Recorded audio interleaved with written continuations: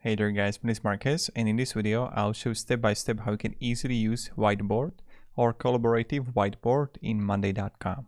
So the first thing that we are going to do, I'm going to click here add. Then I'm going to choose choose from templates. Now here I will write search all templates and I'm going to write whiteboard. I will click on it and then use template. Creating our first template. Okay, here we are. So automatically it's going to um, like going to be created. Now you can see right here Collaborate Whiteboard app will be uh, deprecated soon. Try Canvas by Monday.com. So this is uh, like a thing that I recommend for you to use too. And I'm going to create a tutorial on how you can use the Canvas, workcanvas.com. But before that, I'm going to show you how we can use this here. So what you can do here and how we can work with it. So first thing first, I can like choose if I'm going to have multiple items here. Then I have option to to add a text or add a line here. Look at this. So let's say I'm going to have a red line. So I can like easily draw stuff. And then I can simply like look at this. I can choose the elements and delete them. So if I'm going with mouse and hover over like the smile and the road that I created, I can delete those. So this is how we can simply use it. Now, if I go even further, what I can do here, I can add a text. And I can start writing. So I can write, let's say, okay.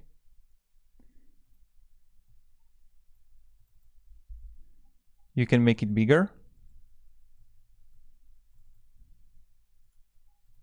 You can easily delete it. Again, I choose it and press delete it. So I go like this see I can go again this and start writing. Hi there this is me. Hi there this is me look. And this is how I do it. You need to little bit play around with it but that's how we do it right? So when I go here also I can again draw or I can upload an image URL and like add it here so that's what you can do. But again as i feel that you should definitely tr try the canvas by monday.com and focus on that. And i'm going to show you also in this video how we can use it. But if you're completely new here um, get started free and i'm going to show you. Okay this account. That you get directly connected to your account and get started and I'm going to show you how you can do it directly in this video because this is a little bit limited on what you can do here. Like yes you can collaborate with other people but I believe here you would have multiple options here what you can do.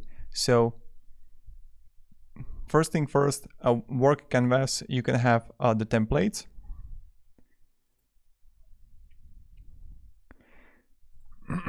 So let's say mood boards, SWOT analysis, flowchart, or you can go simple and click blank canvas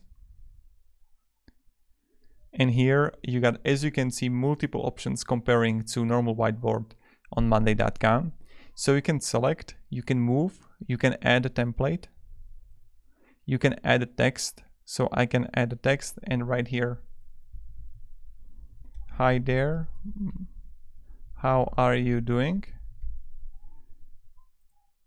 So I can change the size of it and I can line it up or I can make it bold or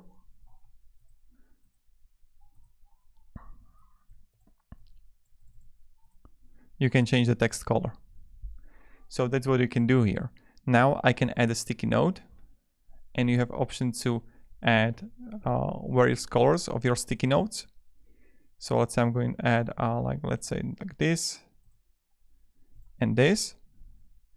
And again, you can change the color. You can change the text color.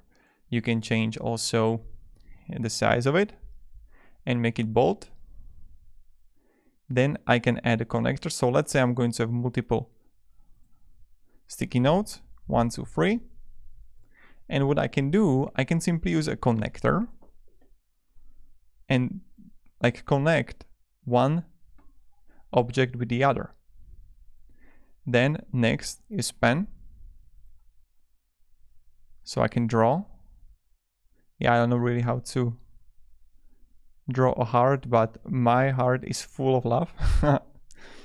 and then you're gonna find shape here. So in shape, you have option to add a circle, a square. Many things here.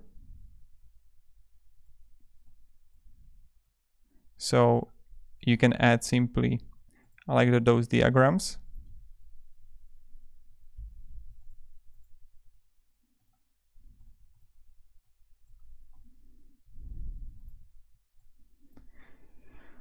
So these are the shapes. Then you have tasks here. So let's say I have a task and I'm going to zoom in in.